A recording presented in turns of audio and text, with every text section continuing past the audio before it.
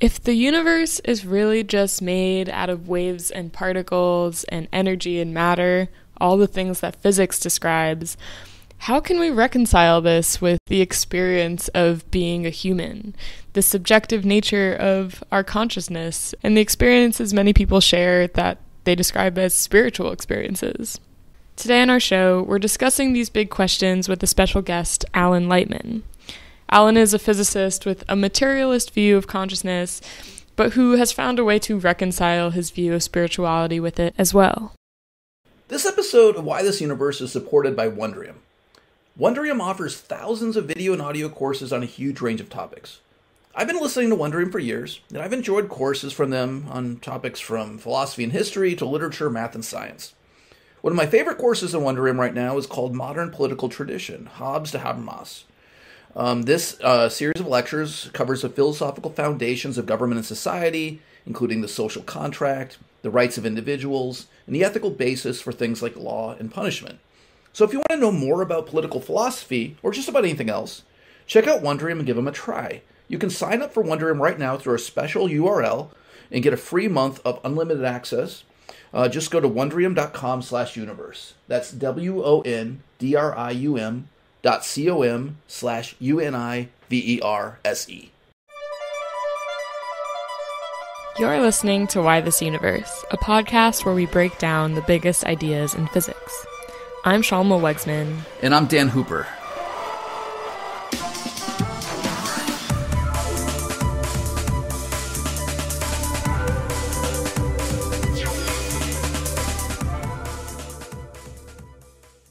On this episode of Why This Universe, we have a very special guest, Alan Lightman. So, Alan is one of these rare polymaths that is both a scientist and a scholar of the humanities. There aren't many of us out there, um, but Alan is a is a rare example.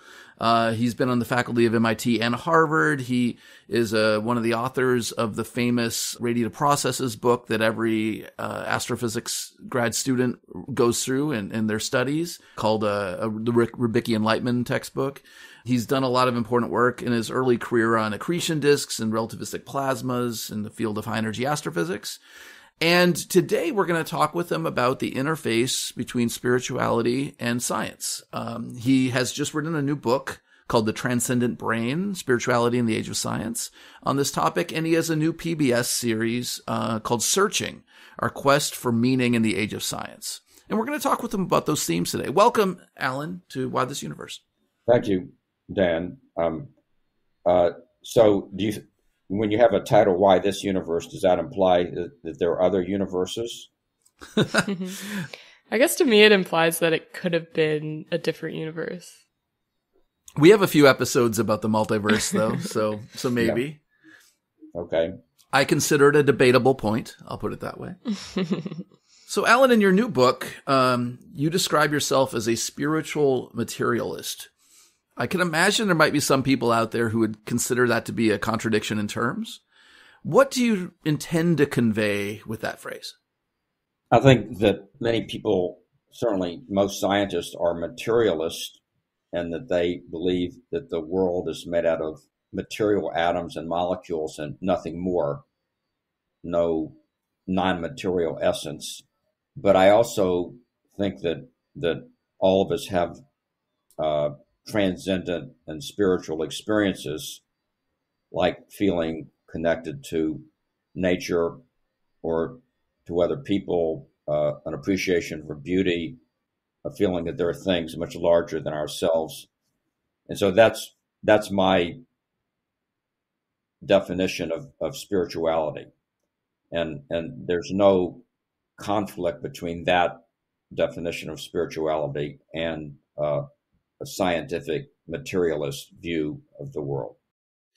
So you would have a view where maybe maybe I have a transcendent experience. I, I uh, listen to a piece of music and it really moves me in some way that I might describe as a spiritual experience. But all that really boils down to a bunch of complicated interactions between atoms in my brain or something. Something like that is what you have in mind. Yes, yes, yeah. that, that's that's what I mean. So, can I ask if it's also something physical then about the music that would induce the transcendental experience? Well, I think that the music appeals to certain parts of the brain that constitute our emotional apparatus. So, of course, music and everything else is is physical. Uh, music literally is a bunch of sound waves going through the air, uh, making molecules move back and forth. But that's not what causes a, a, a, soaring feeling when listening to music. It's it's the reception of those sound waves and their processing in the part of our brain that evolved millions of years ago and was very uh, tuned in to sound, probably initially as a survival mechanism. And then, of course, as, uh, as a byproduct of that, you would develop certain aesthetic sensibilities. I have been around a community of more or less materialistic friends and coworkers and things for long enough now that I'm super comfortable with the idea of everything in the universe being materialistic. Like that, that's super intuitive to me at this stage of my life. Um, but I have to pause every once in a while and think back and, and take notice of the fact that throughout human history, there have been a lot of great thinkers who have not endorsed that, that perspective. Um, there are a lot of dualists and, and, or mind body dualists or, or other sorts of perspectives.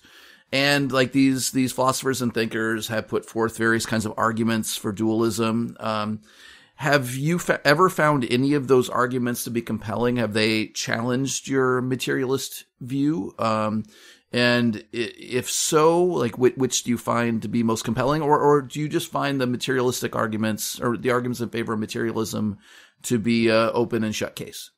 Well, let me first clarify what, what I think you mean by dualism that mind and matter are two separate substances, and that, that mind, which includes our thoughts and memories and so on, is some non material substance of some kind.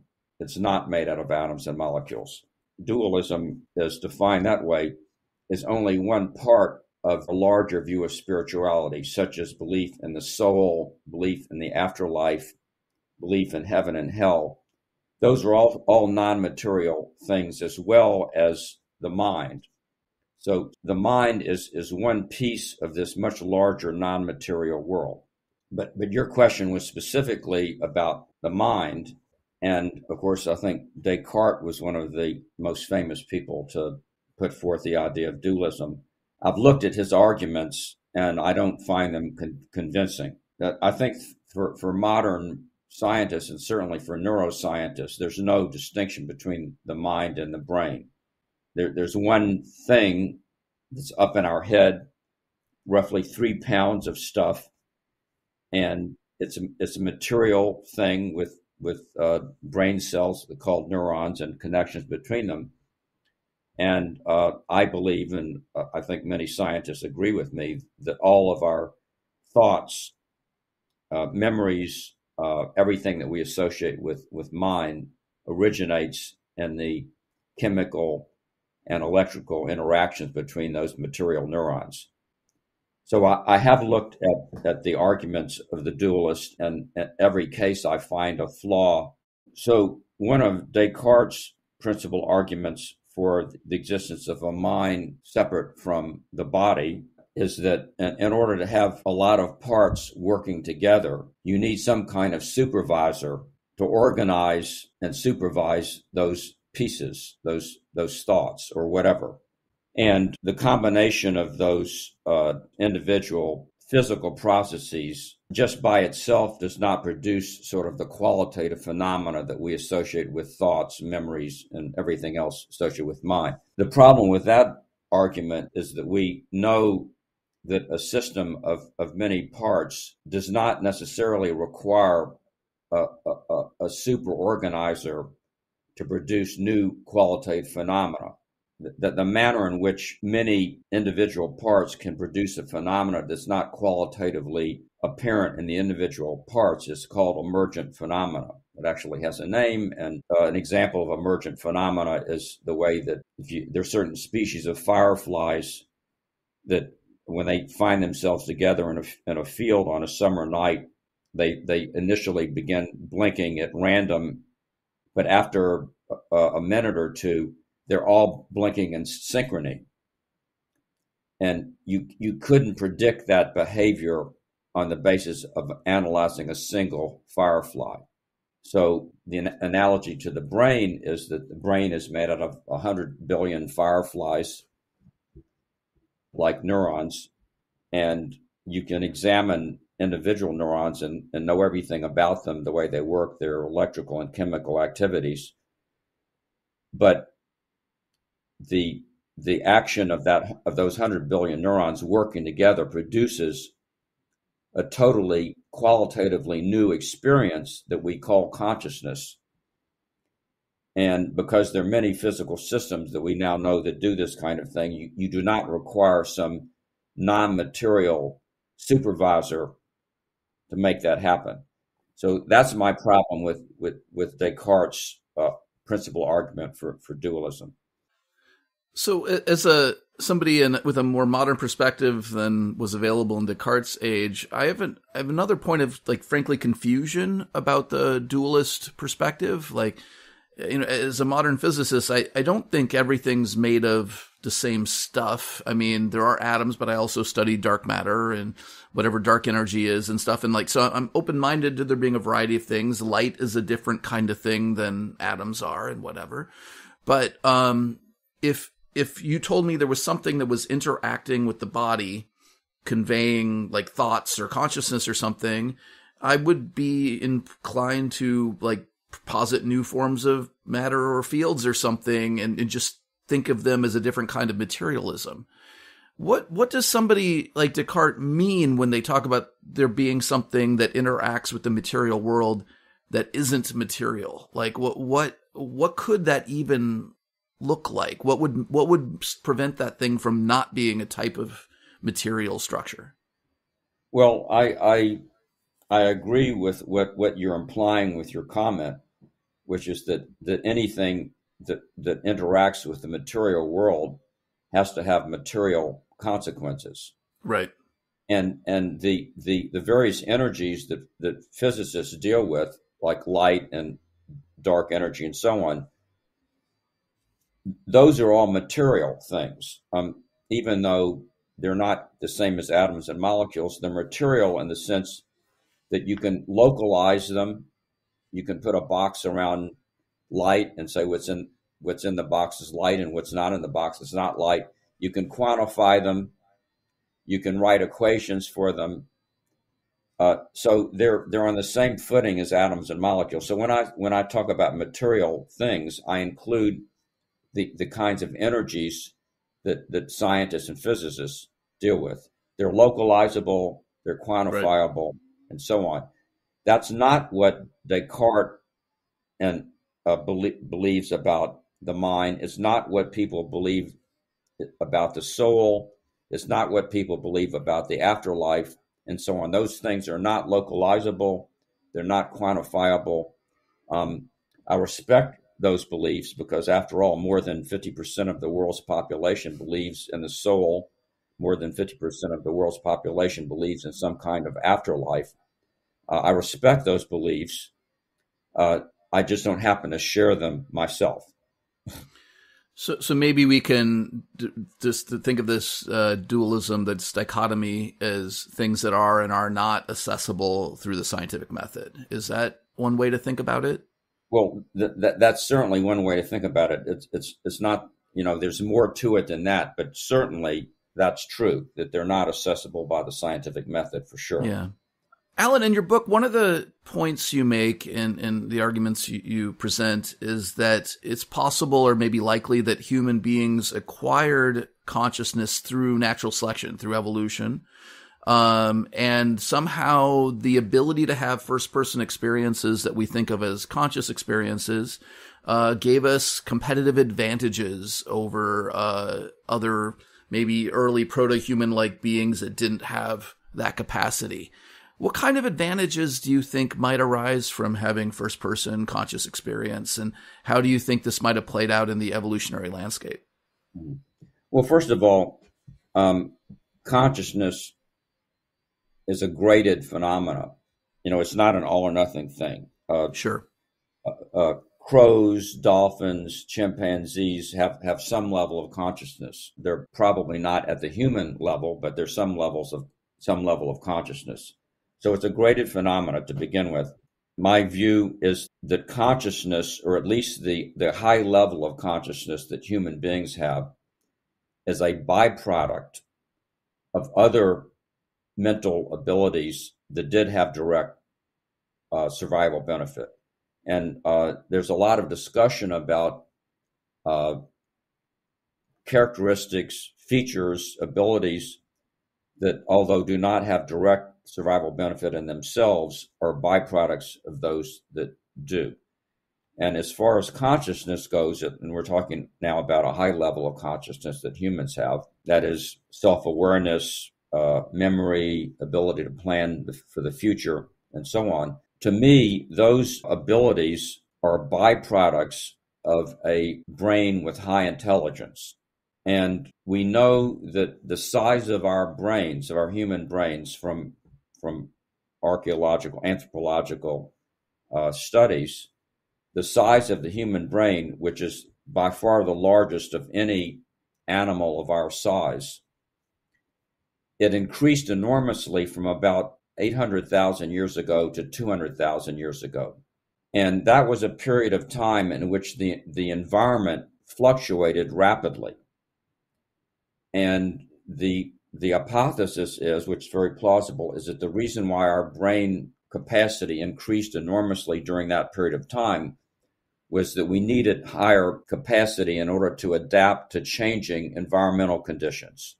And then once we had that large brain, then there were all kinds of byproducts of that. And some of the higher aspects of consciousness probably are byproducts of that large capacity brain, which was developed as a survival mechanism.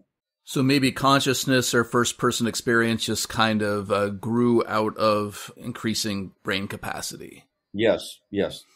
So do you think it's plausible that there there could have been an evolutionary trajectory where there were organisms that could kind of solve the myriad of problems that Homo sapiens could without developing the kind of first person conscious experience that we have? Um, that's a great question. Uh, I don't know the answer to the question, but but my conjecture is that once you have a brain capacity as large as the one that we have, that a first person experience would be an in- inevitable consequence. When you've got 100 okay. billion neurons that are all talking to each other, right? And you're bound to get a lot of very unusual qualitative phenomena out of all of that traffic. So, um, although I don't know the answer to your good question, um, I my my guess would be that that the first person consciousness, the first person experience, is is an inevitable consequence of sufficiently large brain, and that also raises the question of whether a, a computer right could be conscious. Of course, AI is in the news recently in the last few months with Chat GPT. And certainly we're going to be able to build computers with larger and larger capacity. And if consciousness is an inevitable consequence of a large number of neural like units in communication with each other, then a computer of the future might have all the attributes of consciousness. Whether it's actually conscious or not is something that we can't know because we can't ever know what it feels like to be a computer. Sure. But any any finite list of attributes of consciousness, like the ability to memory the remember the past, the ability to recognize yourself, the ability to express emotion like anger and love, um, the ability to plan for the future, any finite list of attributes of consciousness, I think that at some point in the future, a computer will check all the boxes. So, like, uh, philosophers of the mind sometimes debate this uh, question of the the sub substrate issue with with consciousness, and, and some have taken the side that as long as the information is being processed the same way, if consciousness can arise in a human brain, then it could arise on a computer made of silicon or whatever.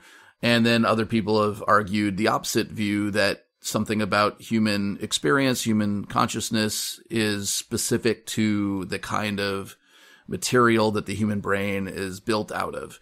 It sounds to me like you're taking a uh, substrate independent uh, perspective that you could have the kind of consciousness that we ha- we have encoded on silicon chips or something.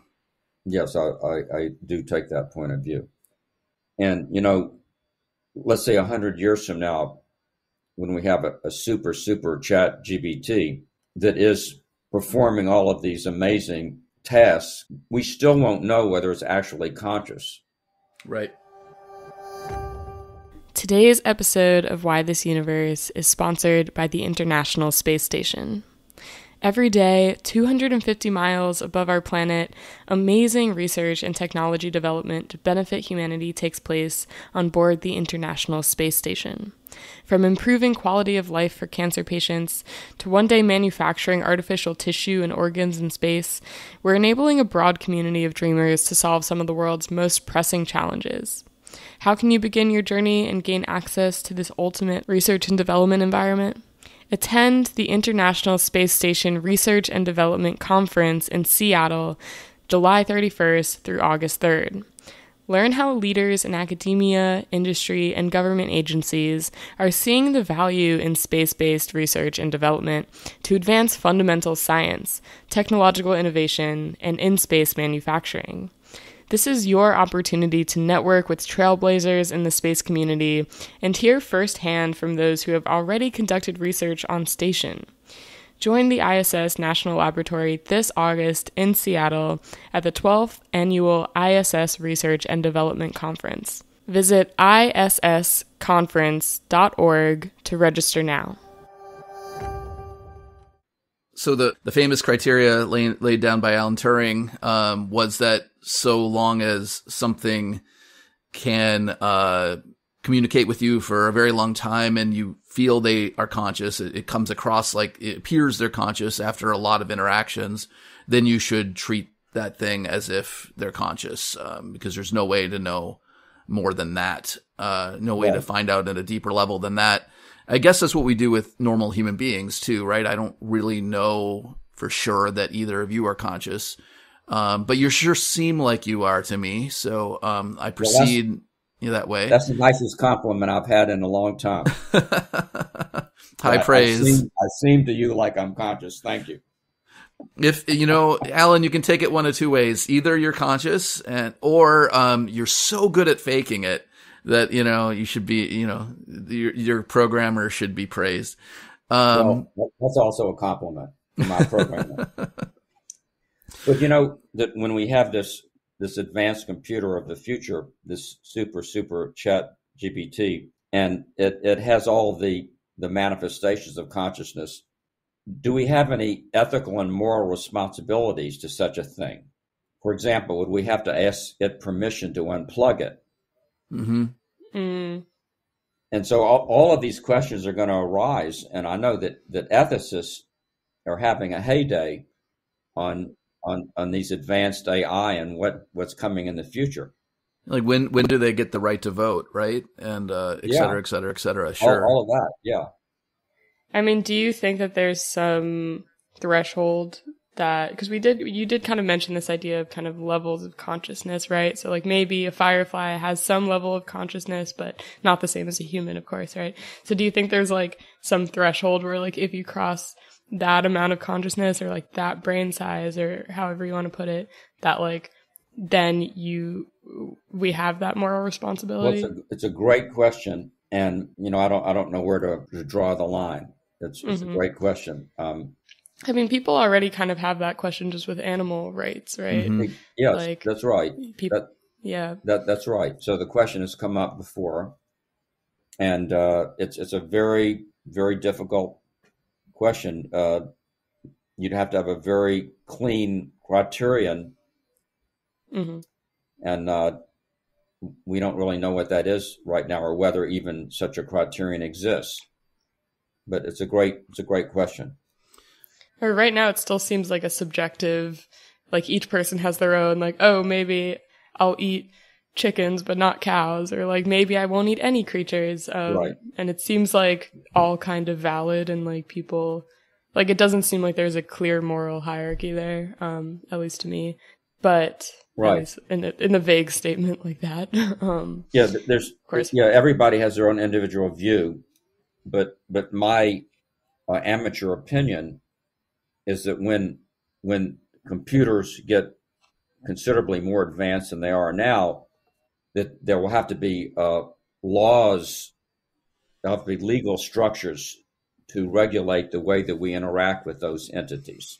So it won't be just a matter of individuals making up their own opinion about whether they should eat chicken or fish. I think there are actually going to have to be new laws to govern our interaction and communication with these advanced entities.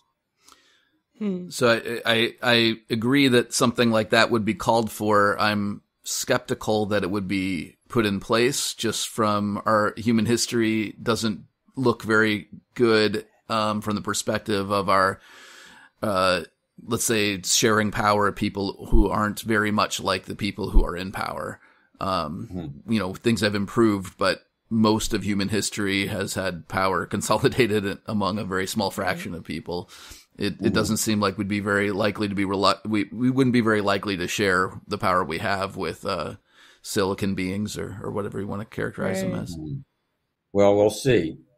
Um, you know, that there might be a time where uh, silicon beings are running the show. Uh, Yeah. There might even be, you know, people getting married to silicon beings.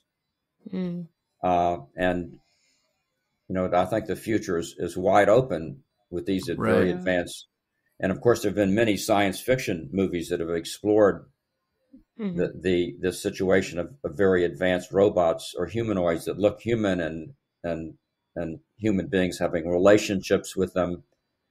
Uh, so the, the sci-fi people are, are ahead of the curve on this thing. Do you think then that leads to the next question of you know talking about this consciousness hierarchy and stuff, um, where what if like maybe there was some evolutionary limit to like how big our brains could be for us to still function biologically, but like what if there's not as much of a limit or something with these computers? Like what if they kind of reach an even higher consciousness than we have? And No. quickly, well, yeah, well, that's a, that's a very smart observation, and I think you're right. But maybe in that sense, we can think of the, the machines we build and the machines they build in the same way that Homo habilis might view us. You know, we, we can be the progenitor of this new great mm. thing. I mean, there's also, I guess, maybe, I guess this could be positive or negative depending on your perspective, but, you know, if we create an even higher consciousness being that maybe has like an even better than in, intuitive understanding of things like taking care of the planet or like, you know, like taking care of big societies and stuff like that better than we actually are able to as human beings.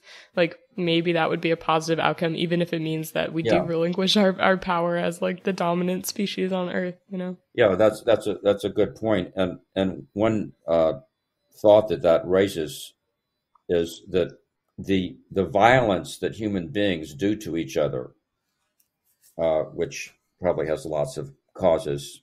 I mean, survival is one of them, but probably a lot of other causes. It's it seems to be very deep in human the human psyche because you know for, for all of recorded history human beings have made war on other human beings. They they vied for power, killed each other, and all the other terrible things that we do to each other. So it raises the question: if you do, if we are able to create one of these advanced computers that has all the attributes of consciousness, will will some of our negative, the human being negative uh, qualities, like are are prone to, to violence and greed, will those things emerge inevitably from a being with, with an artificial being with, with a high level of consciousness? Uh, are, are they are they inevitable? You know, with a sufficiently large brain, these these negative qualities that we have. Yeah, the, the the most optimistic view I can take of all this stuff is the possibility that we could maybe end up being replaced by a system of intelligences that is more capable of having transcendent, wonderful experiences, the same sort of thing we value about human experience, but cranked up to 11, while also being able to function more rationally and responsibly in the ways that matter. And, um, reluctance to use violence being one of those things, but also just better stewardship of the planet and, and our resources and things like that. That that would be wonderful if that comes to pass. I would uh, cede humanity to that if if uh, yeah. if if that were really I mean, an option. I feel yeah. like the problem is there are always some humans that would not cede, right? Mm-hmm. Like I'm, I'm imagining now a, a, positive future maybe where like say we invent this super advanced consciousness that imagine it can kind of rule Earth, but in a way that actually satisfies all creatures' needs and then humans, like all of our needs are satisfied in this like higher consciousness earth where like we actually have like not only our material needs met, but also our creative needs and like resources and like the ability to do everything we want to do. But we have to relinquish the control over the planet to this higher species. I still imagine that there'd be people who would, who would oh, fight that system. You know? I don't yeah. think it's going to be up to us though. no we, we've uh, we've meandered in, in this conversation, which has been great. But I want to bring things back kind of full circle to the the very beginning of our conversation, Alan. Uh, we you know we opened by asking you know what you meant by spiritual materialism and and like explaining why that isn't some sort of contradiction in terms. Um, if you you know I'm sure you you've seen things online and things, but there's a lot of stuff uh, between some of the kind of the new atheist types and yourself where there seems to be a, a loggerheads, a, a mismatch uh, between what you think some of the words mean and what they think some of the words mean. Uh, they seem to really object to any use of the word spiritual, uh, spiritualism, right?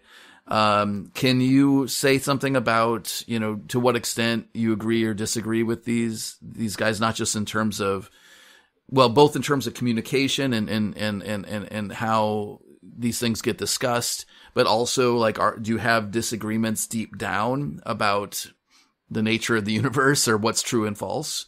Well, I think that the new atheist and I see the world, the, the physical world, pretty much the same way. And I think the the new atheists do acknowledge uh, a number of the experiences that I group together under the heading of spirituality, such as the appreciation of beauty, uh, the feeling of being connected to nature, and so on.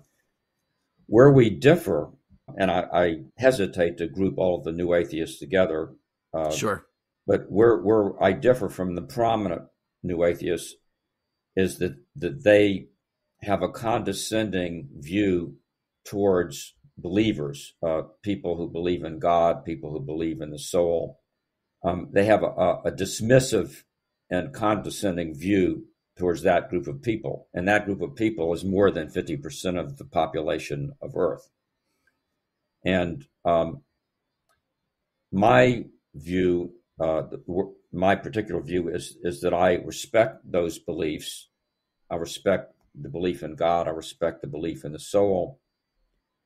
Uh, even though I don't share that those beliefs myself. And there are many, many intelligent people who believe in God, who believe in the soul, believe in an afterlife. And we can't just dismiss all of that. You know, there, there are reasons for those beliefs.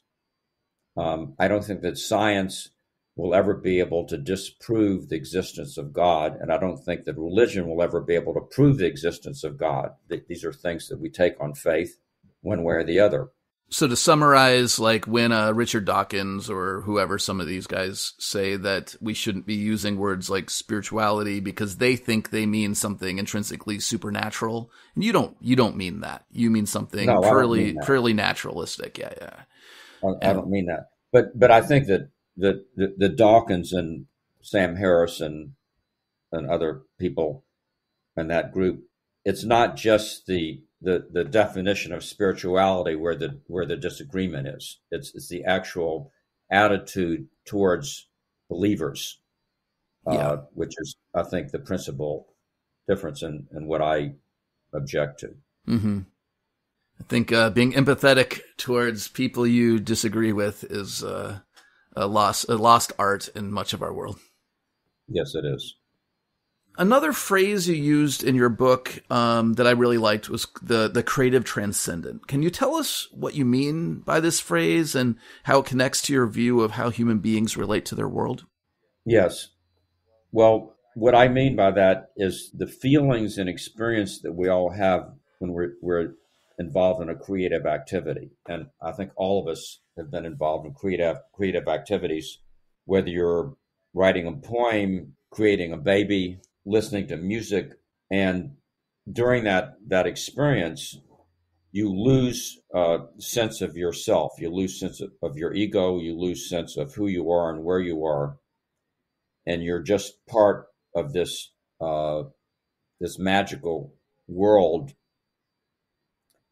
where your your yourself has d- dissolved and you've become you've joined with something larger than yourself and it's particularly powerful when you are creating something new that hasn't existed before.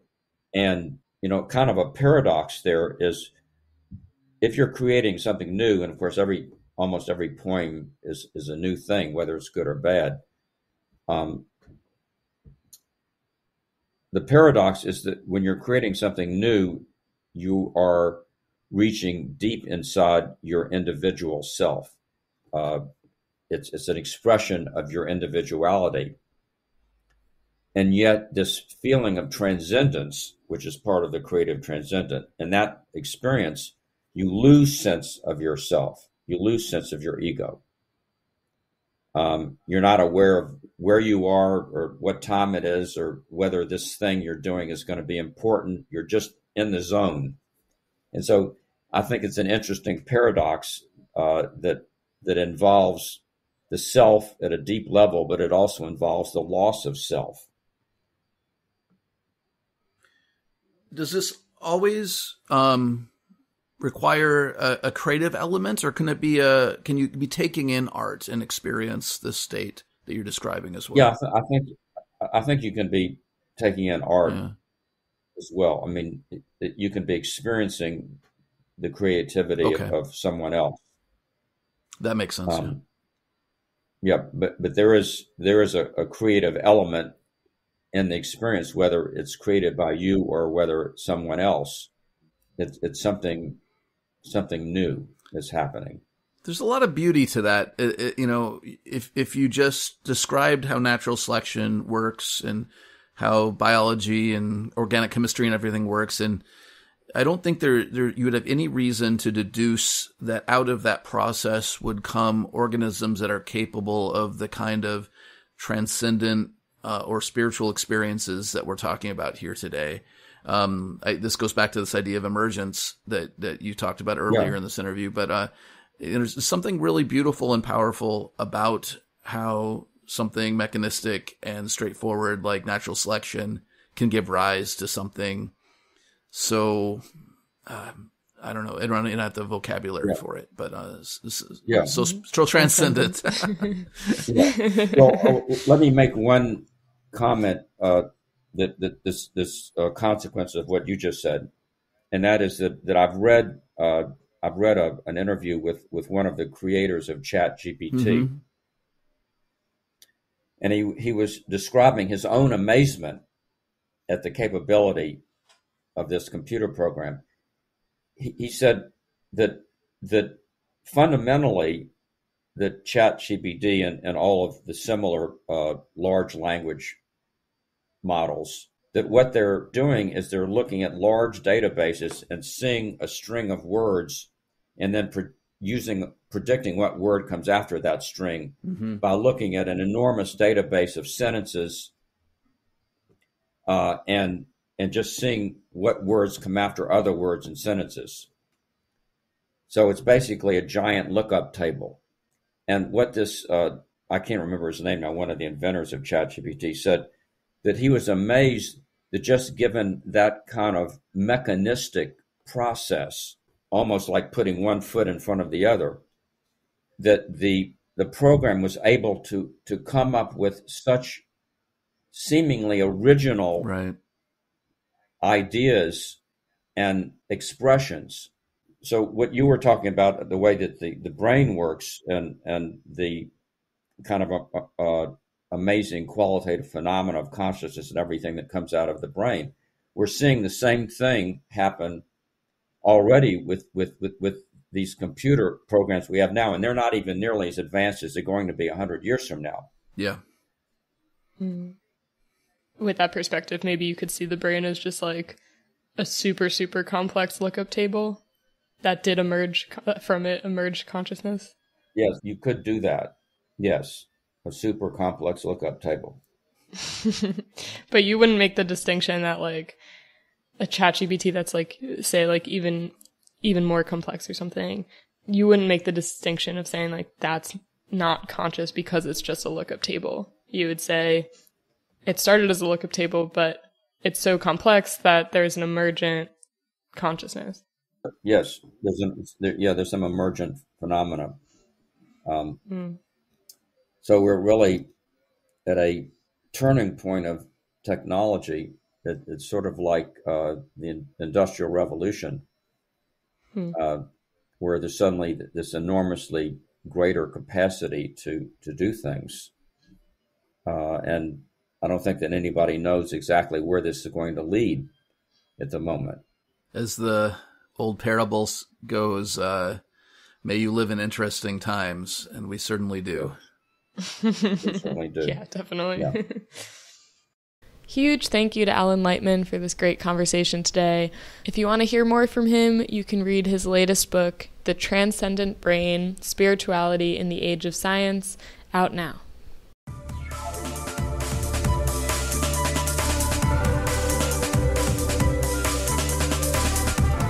Why This Universe is brought to you by the University of Chicago Podcast Network. It's edited and produced by me, Shalma Wegsman, and my co host is Dan Hooper, a professor of astrophysics at the University of Chicago and Fermilab. If you like our show and you want to support us even more, you can find us on Patreon. There, you can access ad free episodes of the show as well as exclusive Ask Us Anything episodes where you get to ask Dan and I direct questions about physics or anything else. So if you are curious about that, you can find it at patreon.com slash why this universe. Thank you so much for listening and for your support.